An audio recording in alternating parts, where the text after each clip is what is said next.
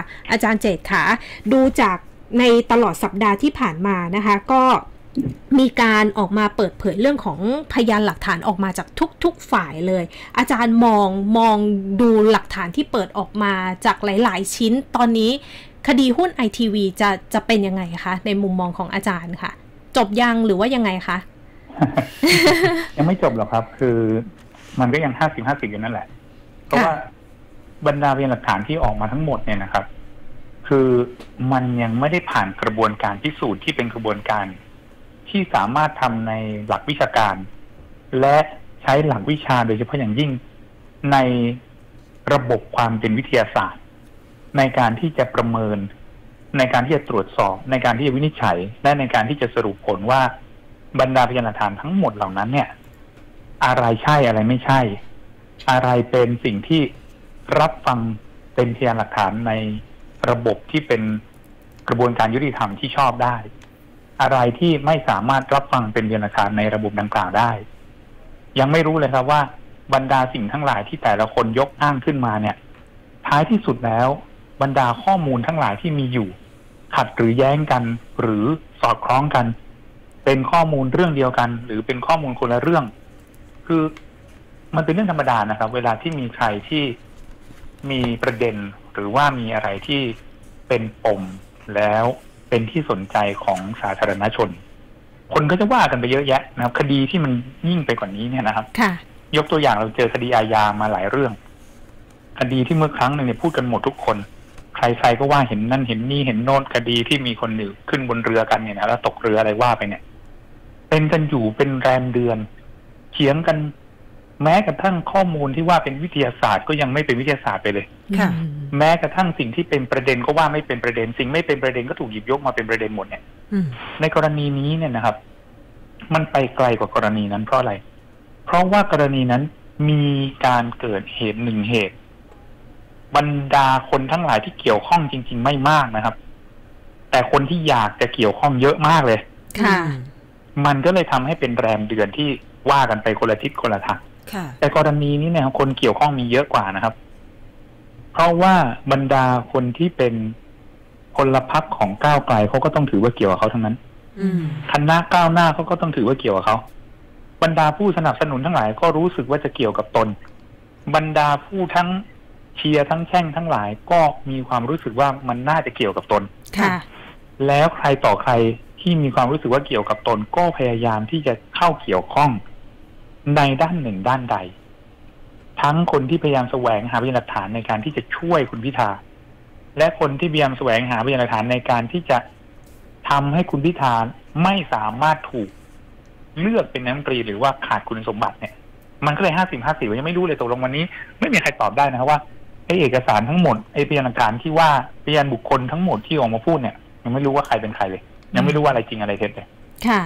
อย่างประเด็นที่มีการหยิบยกขึ้นมาอย่างการเป็นผู้จัดการมรดกอย่างเงี้ยล่ะคะ บอกว่าก็น่าจะชัดและอาจารย์มองยังไงอะคะ ในแง่ของกฎหมายเอาตามกฎหมายเนี่ยนะครับ ผู้จัดการมรดกแปลว่าอะไร ผมว่าหลาย ๆ คนพูดค่อนข้างชัดละผู้จัดการมรดกมันมีอยู่ได้สองลักษณะค่ะคือลักษณะประการได้เจ้ามรดกเขียนไว้ในพินัยกรรมค่ะก็เท่าที่ทราบก็คือของคุณพิธาเนี่ย เจ้ามรดกไม่ได้เขียนในพินัยกรรม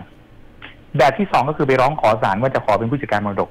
ซึ่งแบบเนี้ยศาลมักจะพิจารณาคนที่เกี่ยวข้องกับกองมรดกนั้นโดยเฉพาะอย่างยิ่งเป็นทายาทในกองมรดกนั้นด้วย ซึ่งในกรณีของพิธาก็น่าจะเป็นเช่นนั้น ทีนี้พอเป็นทายาทในกองมรดกนั้นทายาทที่เราเรียกกันโดยทั่วไปว่าทายาทโดยธรรมก็คือเป็นคนที่มีส่วนร่วมในกองมรดกนั้น ในทุกทุกส่วนของกองมรดกนั้นเท่ากับบรรดาทายาทโดยรวมทั้งหมดไม่ว่ามีใคร และทายาททั้งหมดเหล่านี้ถือว่าเป็นทายาทโดยธรรมทั้งสิ้นค่ะ ต่างก็ต้องมาแบ่งกัน นั่นแปลว่าถ้าเกิดผู้จัดการมรดกถือไว้ในฐานะผู้จัดการมรดกเท่ากับถือไว้สำหรับตนและถือไว้แทนคนอื่นๆด้วย การจะไปยื่นอะไร เช่น สมมติไปยื่นปปชปปชก็บอกยื่นมาในฐานะผู้จัดการมรดกปปชก็ไม่ได้มีหน้าที่จะไปตรวจสอบนะครับว่า ท่านเป็นผู้จัดการมรดกที่มีส่วนหรือไม่มีส่วนเขาแค่ตรวจสอบว่าท่านบอกว่าท่านมีทรัพย์สินรายนี้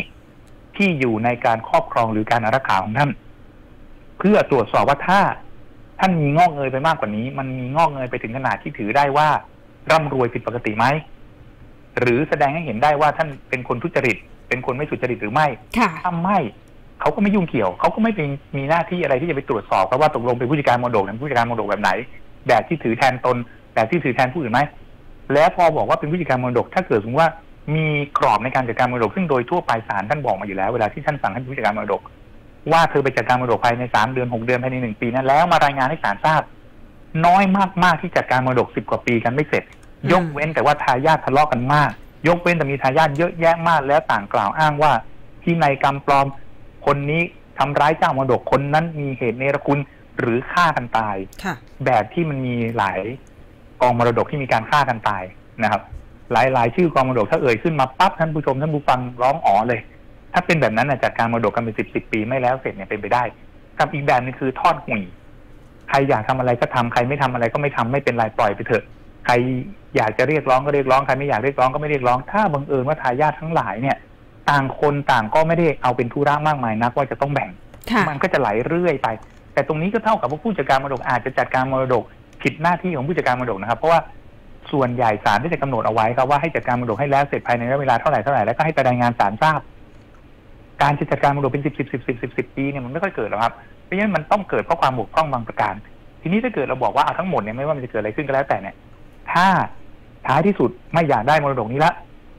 สละมรดก ทุกคนก็บอกโอ้เขาสละแล้วไงเขาโอนแล้วเขาหนีพ้นแล้วค่ะสละมรดกต้องสละทุกสิ่งทุกอย่างสละไม่มีเงื่อนไขสละไม่มีเงื่อนเวลานะครับ สละเฉพาะมรดกบางรายเช่น สละเฉพาะหุ้นนี้ไม่ได้นะครับ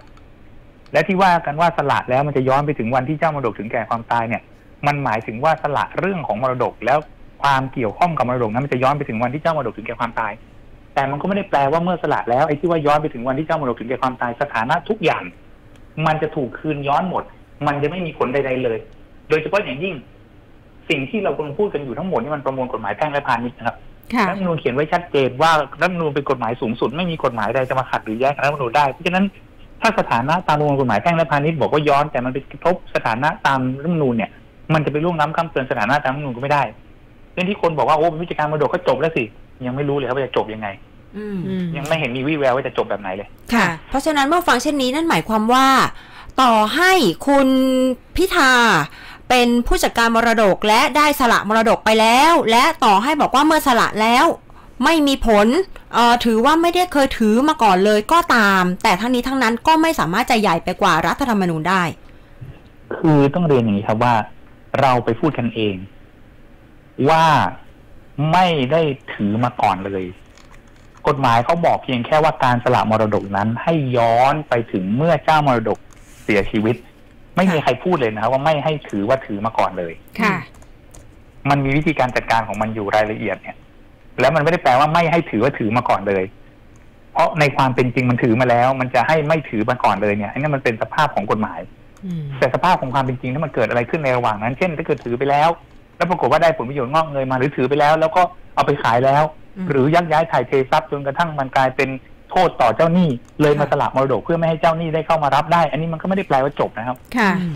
มันยังเดินหน้าต่อไปได้ฉะนั้นมันไม่ได้มีอะไรที่ในกฎหมายเขียนว่าให้ถือว่าไม่เคยถือมาก่อนเลยเขาแค่บอกว่าให้ย้อนการสละมรดกเนี่ย ไปในวันที่เจ้ามรดกถึงแก่ความตายแปลว่ามันมีวิธีการจัดการของมันอยู่ ออย่างนี้อาจารย์อย่างนี้องค์ประกอบเนี่ยมันต้องดูที่ตรงไหนแล้วก็ต้องพิสูจน์ให้ได้แล้วก็ให้ขาดด้วยอย่างกรณีเรื่องของถือหุ้นจริงหรือเปล่า หุ้นไอทีวีมีสถานะเป็นหุ้นสื่อจริงหรือเปล่า อันนี้สำคัญด้วยไหมคะ เป็นองค์ประกอบสำคัญด้วยหรือเปล่าคะเป็นองค์ประกอบสำคัญครับ คือถ้าเกิดพูดถึงในบริบททั้งหมดเหล่านี้สิ่งที่จะต้องดูเป็นประการแรกก็คือว่าณขณะนี้อะไรเป็นสาเหตุ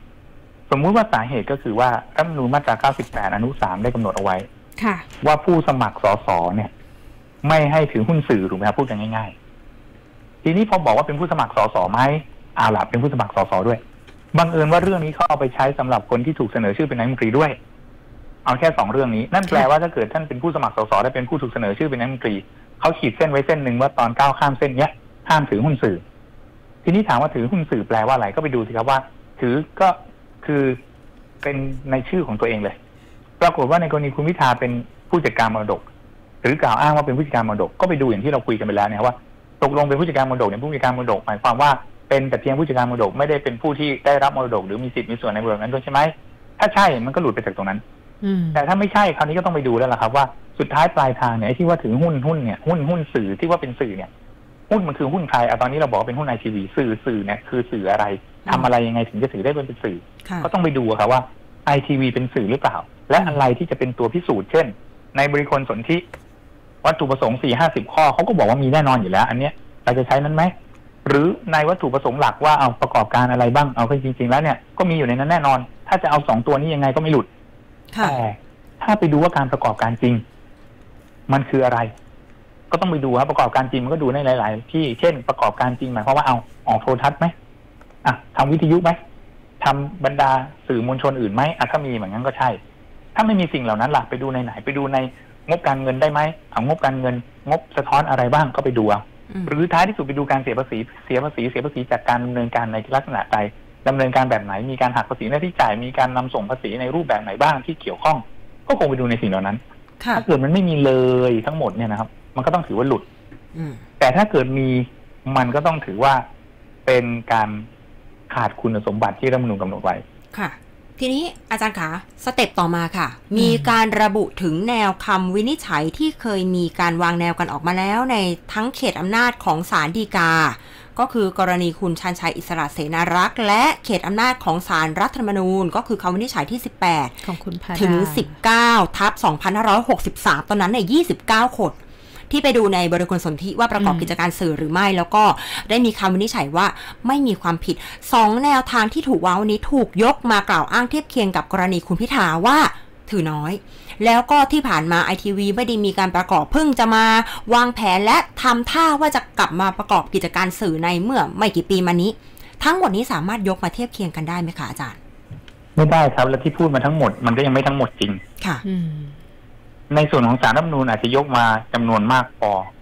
แต่ในส่วนของสารดีกายกเฉพาะกรณีคุณชันชัยไม่ได้ ค่ะ ก่อนหน้ากรณีคุณชันชัยสารดีกาท่านวินิจฉัยไว้ว่า ที่ประกอบกิจการที่ประกอบกิจการอยู่นั้นเนี่ยต่อให้หยุดประกอบกิจการถ้าไม่ได้เลิกกิจการอ้อยังถือว่าประกอบกิจการได้อยู่ใครจะไปรู้ว่าท่านจะกลับมาประกอบกิจการเมื่อไหร่ ดังนั้นถ้ายังไม่ได้เลิกประกอบกิจการก็ยังถือว่าประกอบกิจการอยู่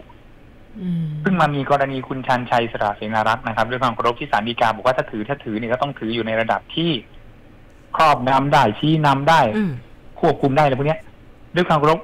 ท่านเพิ่งมาตีความแล้วเพิ่งมาขยายความในสิ่งที่รัฐธรรมนูญโดยเจตนารมณ์และโดยบทบัญญัติเนี่ยก็เขียนเอาไว้ในลักษณะว่าถือถือหนึ่งหุ้นถือถือสามหุ้นถือสิบหุ้นร้อยหุ้นเนี่ยค่ะก็คือถือนะครับ เพราะว่าบริบทของการที่ว่าจะถือแบบครอบงำควบคุมอะไรเนี่ยมันเป็นบริบทของรัฐธรรมนูญตอนสมัยรัฐธรรมนูญ2550มาตรา48ที่เขียนไว้ในลักษณะประมาณนั้นค่ะแต่ก็ไม่ใช่ว่าชัดเท่านั้นแบบนั้น มันก็มีมากกว่านั้น แต่ว่าเราไม่มีที่เวลาอธิบายแล้วก็ไม่ได้เสียเวลาไปอธิบายรัฐธรรมนูญ50ค่ะแต่รัฐธรรมนูญ60 โดยถ้อยคำตามตัวบทบัญญัติและโดยเจตนารมณ์ก็คือถือคือถือนะครับ ด้วยความเคารพสารดีกาในกรณีคุณชันชัยเนี่ยเราไม่สามารถนำเป็นประชานได้หมด เพราะว่าสารดีกายังมีอีกตั้งหลายคดีที่ไม่ได้เป็นไปตามนี้ อืมและในส่วนของสารรัฐธรรมนูญเนี่ยก็ยังมีอีกมากนะครับ ที่สามารถหยิบยกมาได้ไม่ได้มีแค่จำนวนที่ได้มีการหยิบยกกันขึ้นมาค่ะแต่เพียงแต่จำนวนที่หยิบยกกันขึ้นมาอาจจะเพียงพอได้ในส่วนของสารรัฐธรรมนูญ เพราะฉะนั้นเนี่ยมันยังมีอีกที่มันยังขาดตกไป ผมถึงได้เรียนว่าท้ายสุดเนี่ยบรรดาพยานหลักฐานทั้งหลายเนี่ยใครจะยกอะไรมายกมาเถอะแล้วท้ายสุดมันตัดสินกันที่ศาลครับ เรื่องนี้ไม่มีทางตัดสินที่พวกเราได้มันต้องไปตัดสินที่ศาลอยู่แล้ว ยังไม่จบแล้วก็ยังไม่สามารถฟันธงได้ ครับยังไงก็ต้องไปตัดสินที่ศาลอืมค่ะ งั้นหมายความว่ากระบวนการต่อไปขั้นตอนต่อไป อย่างเช่น ถ้าใช้เรื่องของการดำเนินการตามมาตรา 82 อันนี้ก็ จะต้องอาจจะต้องอาจจะต้องถึงขั้นตอนนี้แล้วก็เดินหน้าด้วย ผมคิดว่าน่าจะถึงแน่นอนนะครับ เพราะอย่างนี้ คือกลไกที่ทางศาลท่านจะรับและท่านไปดำเนินการเนี่ย มันก็มีแตกต่างกันถูกไหมครับ ค่ะ ถ้ากลไกทางอาญาไปศาลอาญามันอาจจะนาน ถ้ากลไกตามรัฐธรรมนูญไปศาลรัฐธรรมนูญมันอาจจะสั้นกว่า เพราะฉะนั้นเนี่ยมันอยู่ที่ว่าตั้งเรื่องแล้วส่งไป ณ ขณะนี้ในยกกตตั้งเรื่องมาตรา 151 เป็นการดำเนินการเรื่องอาญาศาลอาญาท่านอาจจะนานค่ะ ก็ไปบังคับท่านไม่ได้ถูกไหมครับ ท่านอาจจะพยายามทำหลายเรื่องให้มันรวดเร็วได้แต่มันก็รวดเร็วเกินกว่าที่มันควรจะรวดเร็วไม่ได้ แต่ถ้าเกิดสมมติมาตามมาตรา 82 พอเมื่อมีสถานะเป็นสสกันแล้ว บรรดาสสเข้าชื่อกันหนึ่งในสิบแล้วก็ไปยื่น หรือว่ากรกตดำเนินการตามเส้นทางนี้ กลไกนี้มันก็จะเดินของมันไปที่ศาลรัฐนูญพอเดินไปที่ศาลรัฐนูญศาลรัฐนูญท่านก็วินิจฉัยได้ นะว่าตกลงแล้วเนี่ย ผู้สมัครในตอนนั้นผู้ถูกเสนอชื่อเป็นนายกรัฐมนตรีในตอนนั้น คือคุณพิธาเนี่ย ขาดคุณสมบัติหรือไม่ ถ้าขาดก็ขาดเพราะอะไร ถ้าไม่ขาดไม่ขาดเพราะอะไร มันก็อาจจะเป็นเส้นทางที่มันเดินได้เร็วกว่า อืมค่ะ อาจารย์ขาทีนี้ขออนุญาตเรียนถามเพิ่มเติมในเรื่องของการเสนอชื่อผู้ที่จะได้รับการ โหวตให้เป็นนายกรัฐมนตรีในสภาเนี่ยนะคะ ตั้งแต่มาตรา 88 ไล่ไปเนี่ยเอ่อกรณีที่เก้าครับค่ะ กรณีที่ยังมีความครับเคลือบแคลงหรือว่ายังไม่ชัดเจนในเรื่องของคุณสมบัติและลักษณะต้องห้ามเช่นนี้เนี่ย สามารถถูกเสนอชื่อเข้าไปเพื่อโหวตเป็นนายกรัฐมนตรีในสภาได้หรือไม่คะอาจารย์ทีนี้ต้องเรียนอย่างนี้ครับว่า ไม่มีบทบัญญัติใดของรัฐธรรมนูญ ที่เป็นตัวปิดกั้นอืม ในส่วนที่อาจจะดำเนินการได้ถ้าสมมุติว่ายื่นไปมีคนยื่นค่ะในเรื่องของคุณสมบัติของสสหรือคุณสมบัติผู้สมัครสสมาตรา 82เขาบอกว่าถ้าเกิดว่ามีเหตุอันควรสงสัยว่ามันน่าจะจริงนะศาลท่านสั่งให้หยุดปฏิบัติหน้าที่ได้ถูกไหมครับ ค่ะ แต่นั่นในกรณีเฉพาะการเป็นสสอืมแต่การถูกเป็นผู้ถูกเสนอชื่อเป็นนายกรัฐมนตรีเนี่ยเขาไม่ได้มีเขียนไว้ อย่างนี้ถ้าเกิดบทบัญญัติรัฐธรรมนูญเนี่ยไม่ได้มีเขียนไว้ ถ้าให้ปฏิบัติไปตาม ประเพณีการปกครองในระบอบประชาธิปไตยทรงเป็นประมุขเราเคยมีประเพณีเช่นว่านี้ไหมถ้าเกิดเราไม่มีประเพณีเช่นว่ามันต้องไปดูประเพณีอื่นไหมที่มันเกี่ยวข้อง เช่น ประเพณีการทูลเกล้าบุคคลที่จะถือว่าเป็นผู้ที่ได้รับเลือกจากสภา เพื่อทรงพระกรุณาโปรดเกล้าลงพระบรมวิไทยให้เป็นนายกรัฐมนตรีเนี่ย ค่ะ มันมีประเพณีไหมว่าถ้าเกิดสมมติว่ายังรกเรื้ออยู่ยังมีปัญหาอยู่เนี่ย เราไม่ทำกันอืมอืม ถ้าไม่ต้องไปถึงขนาดประเพณีเช่นว่าเนี่ยมันสามารถจัดการในทางปฏิบัติได้ไหมเช่น สมมุติ มีพรรคก้าวไกลเสนอชื่อคุณพิธาพรรคเพื่อไทยก็อาจจะกังวลอยู่นะอืมเพราะว่าถ้าเกิดเสนอไปเอาสมมุตินะ ไปจนกระทั่งสุดทางคุณพิธาปฏิญาณตนแล้วศาลรัฐธรรมนูญบอกว่าขาดคุณสมบัติอืมมันไม่เหมือนกับเป็นเล่นๆหรออืมอืมหรือถ้าเกิดสมมุติว่า เอ้าบอกว่าไม่เป็นไรอย่าเพิ่งโหวตคุณพิธา พักเพื่อไทยก็เลยโอ้อย่ารอช้าเลยบ้านเมืองจะมีปัญหา ส่งชื่อคุณแพทองทานคุณเศรษฐาไปอืมสภาลงมติกันได้คุณแพทองทานมาแล้ว หรือได้คุณเศรษฐามาแล้ว ค่ะ สุดท้ายคุณพิธาปรากฏว่าสารรัฐธรรมนูญบอกว่ามีคุณสมบัติทำไงมีปัญหากันอีกถูกไหมครับอืมอืมเพราะฉะนั้นทางปฏิบัติก็อาจจะเป็นว่าพรรคเพื่อไทยก็อาจจะบอกว่า ถ้าลงมติตอนนี้อาจจะเป็นประเด็นนะ บ้านเมืองจะยิ่งวุ่นวายเข้าไปใหญ่เอารอไว้ก่อนดีกว่าพรรคก้าวไกลไม่ยอมจะเสนอ ปรากฏว่าพรรคเพื่อไทยเขาบอกถ้าอย่างนี้เขาไม่ลงมติอืมเขางดออกเสียงก่อน ทุกพรรคอื่นๆในสภาผู้แทนก็บอกงดออกเสียงอืมสวก็บอกงดออกเสียง มันก็ไปไม่ได้ถูกไหมครับอืมหรือถ้าพรรคเพื่อไทยบอกไม่เป็นไรอาอยากโหวตก็โหวตพรรคเพื่อไทยก็โหวตปรากฏว่าพรรคอื่นๆเขาไม่โหวตสวไม่โหวตก็ไม่ได้สามร้อยเจ็ดสิบหกเสียงถูกไหมครับอืมก็ไม่ได้นายกรัฐมนตรีอยู่ดี เพราะฉะนั้นไม่ต้องไปดูเลยครับว่า ประเพณีการปกครองในระบอบประชาธิปไตยมันสัดส่วนเป็นประมุขว่าไว้ว่ายังไง ในเมื่อไม่มีบทบัญญัติรัฐธรรมนูญก็มันใช้ทางปฏิบัติก็เขางดออกเสียงอะอือืมมมันก็เป็นวิธีแก้อีกวิธีหนึ่งแล้ว ถามว่าเป็นวิธีที่มันทำให้เกิดปัญหาไหม ก็อย่างที่ผมบอกไงไม่ทำมีปัญหามากกว่าไหมอืมอยู่ดีๆนึกอยากจะทูลเกล้าใครก็ทูลเกล้าเอาตามใจเงี้ยเหรอค่ะสมมติพรรคก้าวไกลบอกว่าทำไมอะเกี่ยวข้องอะไรด้วย ฉันได้รับเลือกมาจากประชาชน อืมต้องทำไปเลยสิ ประชาชนเลือกมาเสียงประชาชนเป็นใหญ่ที่สุดโทษนะพูดกันแบบหยาบคายเลยนะค่ะจับจ้วงล่วงเกินนะพระมหากษัตริย์ท่านจะทรงยุ่งเกี่ยวอะไรล่ะอืมนี่ถ้าเกิดคุณไม่คิดล้มเนี่ย มันคิดอะไรอะ มันไปกันใหญ่นะอือืมมเพราะฉะนั้น